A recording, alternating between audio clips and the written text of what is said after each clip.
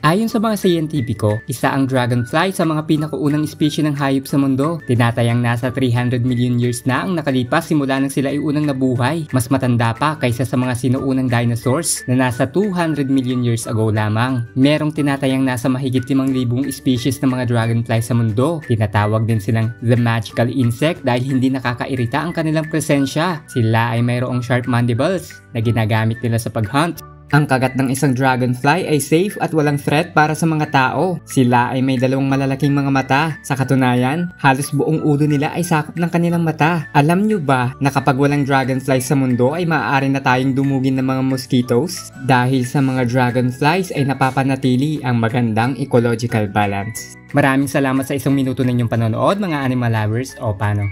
Hanggang sa susunod nating pagkikita, paalam!